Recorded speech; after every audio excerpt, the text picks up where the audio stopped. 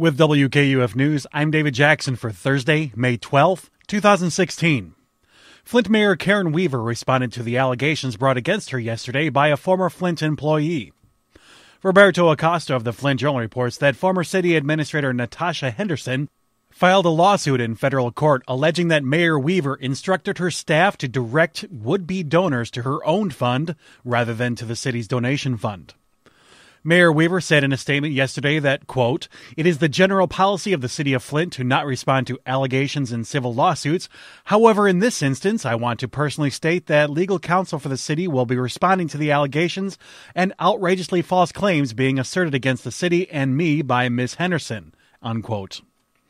Ms. Henderson also alleges that she was fired from her city administration position as a result of requesting an investigation into the alleged financial practices of the mayor. Henderson's position could only be terminated by a joint agreement from the mayor, city council, and the Receivership Transition Advisory Board, an agreement that was finalized by unanimous vote from the Flint City Council in March. Gary Ridley of the Flint Journal reports that while the three separate entities did agree to terminate Henderson's position, City Councilman Scott Kincaid said Tuesday that council members were never told of the whistleblowing claims or any call to investigate the mayor before voting. In a letter to Governor Snyder in February, Flint City Council members claimed that Weaver acted on her own initiative to fire Henderson without consulting or notifying them, despite the language in Henderson's contract.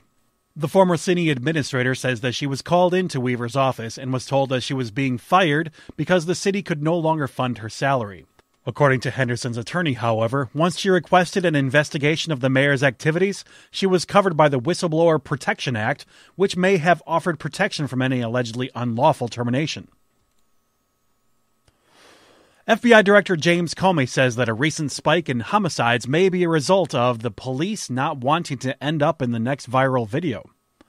The New York Times reports that Comey singled out two cities, Chicago and Las Vegas, in referring to a recent spike in murders.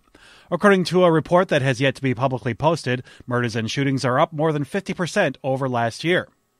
Comey said that he could not fully explain the trend, saying that he does not know the answer to this complicated and hard issue, but something is happening and this country has a problem. According to the director, there's a perception in this country that police are less likely to do marginal additional policing that could suppress crime, such as getting out of the car to approach a group at 2 in the morning, because they don't want their actions to be taken out of context in online videos.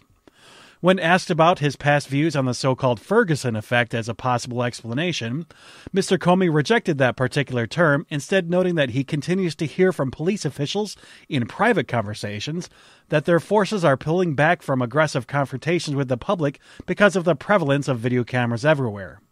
James Pasco Jr., executive director of the National Fraternal Order of Police, however, argued the director's point, saying that it is sounding like he is inferring that police officers are afraid to do their jobs, adding that Comey has absolutely no proof to support his claims. And finally, Hillary Clinton says that if elected, she pledges to release government information on Area 51. United Press International reports that the Democratic presidential nominee hopeful said in a recent radio interview and on a popular late night talk show that barring any threats to national security, she would open the files as much as possible and see what the information shows.